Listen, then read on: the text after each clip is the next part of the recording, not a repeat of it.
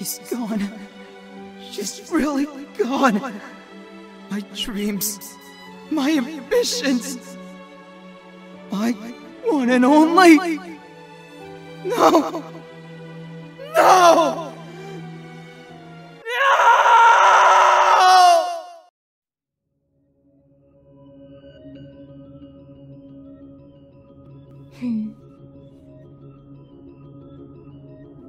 Your will and mine are now as one. Both sides of time are revealed to you, and you alone. You know that I am the beginning. What shall you do?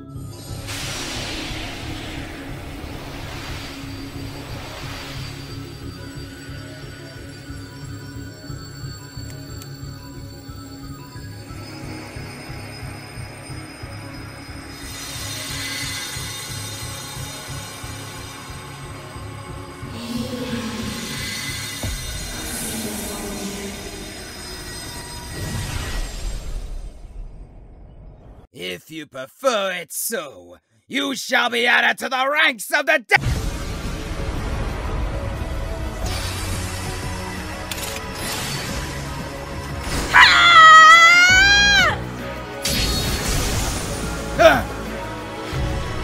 No! How?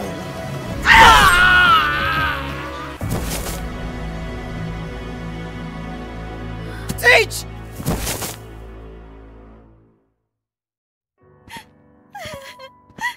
Marie, she's probably fine. Let's just get her to Manuela, okay? But, but what if she never wakes up again? Mary. Claude, she's going to be alright. Pull yourself together. I know, I know. No look for a future leader, I bet you'll say.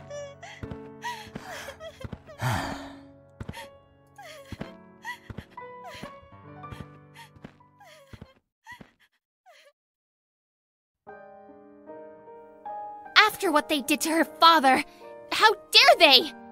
They make me so, so mad! I know, but at least the professor is safe now, Lysithea. I said some awful things to her before this. Thank the gods I still have the chance to apologize. Hey, Leonie. How about we cook something delicious for her?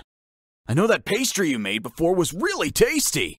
I bet that would really make her feel better. Hey, that's a great idea, Raphael. I'll help. Give us the shopping list. We'll get them for you at the market. Thanks, Ignatz. Hmm. Looks like all we have left is eggs, milk, and butter. Perfect! I know just the place to get all three. How's the dough over there, Lysithea? Almost ready to go? Almost! Jeez, this flour is getting everywhere! W- would the professor like these flowers? They're the ones the class grown in the greenhouse. Of course. Any maiden would enjoy these delicate flowers. Is the ribbon almost ready, Hilda? Wait, why pink? Didn't we pick purple? More like you picked purple, Lorenz. I think the professor would much prefer pink. She wears it during class a lot, after all. Uh, they won't allow us to crowd the infirmary. So please give this to her for us, Claude. Everyone pitched in to make this. They don't care if she'd like it, or if she eat it at all. They just want her to know that they appreciate her, with no expectations, with no agenda. Oh, Claude, she's awake. You could see her now. Uh, thanks, uh, Professor. I'll be in the next room if you need me. Stay back! He's strong! What? Claude, what are you doing? Uh, uh, nothing. Just a little stomach poison. That's all. Teach, you've always had my back. And yet, I pushed you to where I needed you to be. Towards my goals and ambitions. But even if they are aligned, is it fair that you bear the cost of my dream? Am I that selfish? Hey, Teach! Hope you've got an appetite. Just look what your Fonza cooked up for you. They're nothing too fancy, but they are pretty tasty. I'm sure you'll agree? T Teach? You okay? Oh, why wouldn't I be? I'm so happy to have such kind and thoughtful students. You were all I could think about while I was trapped in the darkness. Like a beacon leading me back home. Teach, you didn't have to choose me, us, when you arrived here. But we're so glad that you did. Our lives would be so much poorer without you in it. While I'd love to be selfish and hog your attention right now, the golden deer can't wait to see you again. My dream? I'll achieve that eventually.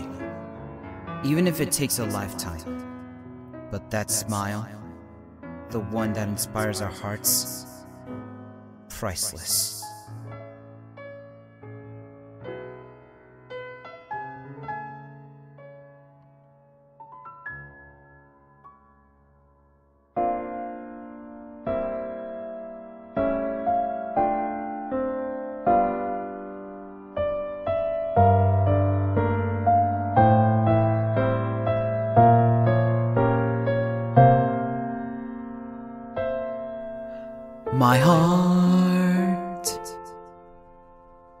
Is like white snow that freezes both our minds. I yearn to let this moment pass me by. But still, I am stuck in place amongst my thoughts. Well, how can we lock the door lightly and never set love free? Oh, you and I couldn't be. Turn back the clock until it stops back to that time when you and I were inseparable. Or so it seemed, the lie stood there from beginnings. Despite the lies, it was not time.